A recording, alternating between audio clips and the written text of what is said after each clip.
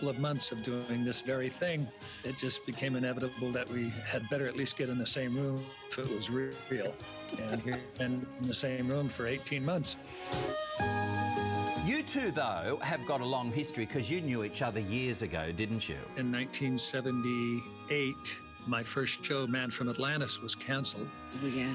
And I was given a script of this new show called The Young Pioneers to play, I think, a husband, I'm not sure, mm. a husband with this actress named Linda Purl. But I also got another script to play a five part episode as a guy named Bobby. And I, I looked at one episode versus five episodes, and we missed our opportunity for 40 years, but then we made up for it. Someday, when I'm awfully low, We had bumped into each other at an event in LA. I was doing a play in New York, and Patrick was going to be on the East Coast doing some work. And he said, Well, maybe I can come through. And then the pandemic hit. And then we had nothing to do. So we, we started to Zoom. just the way you look tonight. We texted for a few weeks and then we FaceTimed and then we discovered Zoom.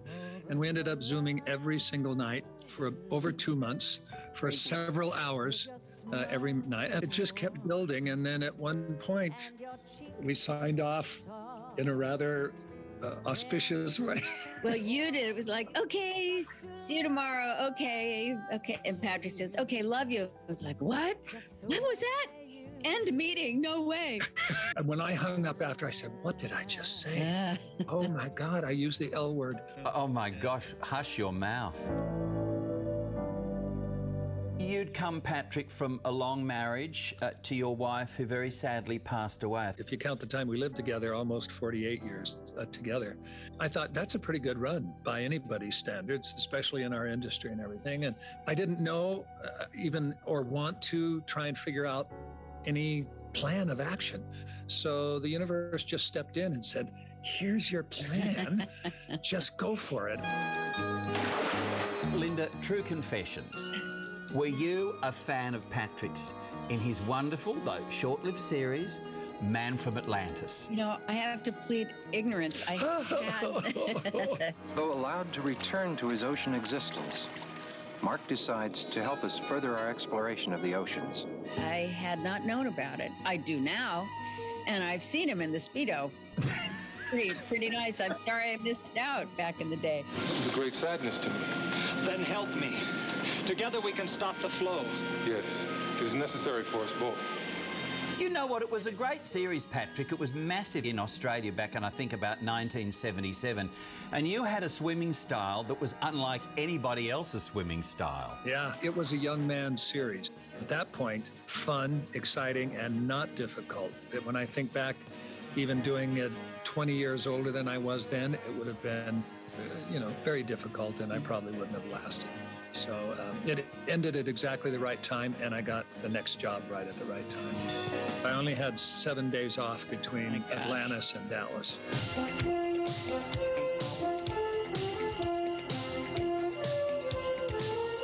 How did that come about?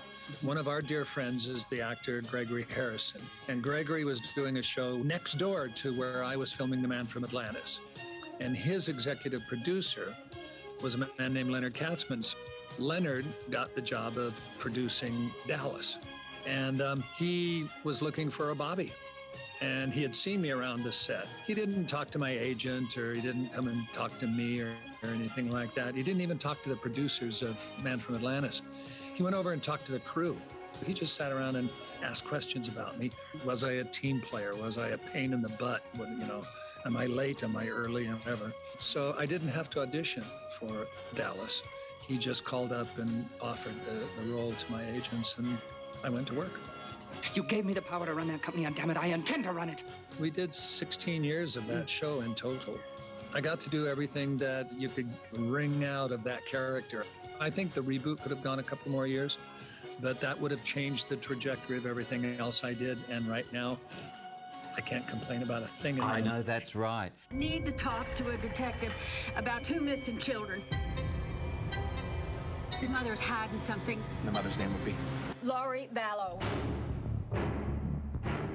Not only is Linda and Patrick's rapturous romance powering along beautifully, but they've taken it to the next level by working together, recently on a movie called Doomsday Mum. What was it like now having developed a relationship and coming together on the screen? We thought, oh no, this could go horribly wrong, but it, it didn't.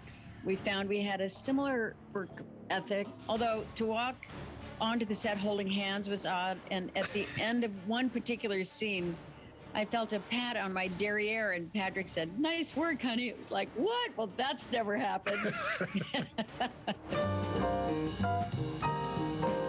Are you ready for a scoop? I am here. I mean, my scoops are usually ice cream, but I'm ready for yours. Oh, you're going to get a double dip this time.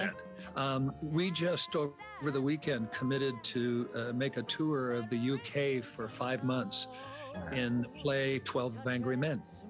Brilliant play. To be restructured to be 10 angry men and two really pissed off women.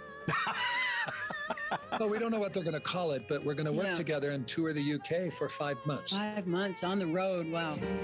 With their relationship flourishing and the lovebird smiling brightly, there's a question I just had to ask.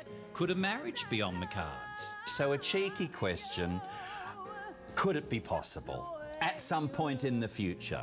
Obviously, we're we're walk, sitting examples right now that anything is possible. So yeah, who knows? We don't know. We didn't know this was going to happen. I'm giddy with gratitude every single day. I can wake up and and look over and say, "Oh my God, look who's in my life."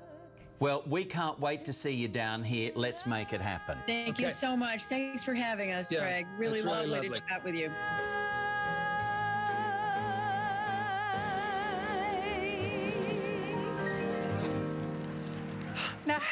Fabulous was that? Don't you love a really beautiful love story? And that was just one of the best. They were divine to chat to, as I'm sure you can tell. Um, if you're a big Linda Purl fan, she has a website you might be thrilled to know. It's lindapurl.com. And that is where you can buy her albums. You heard her beautiful voice there, also an array of photos, all of which she tells me she will very happily sign just for you. Pop them in a padded post pack and off they go.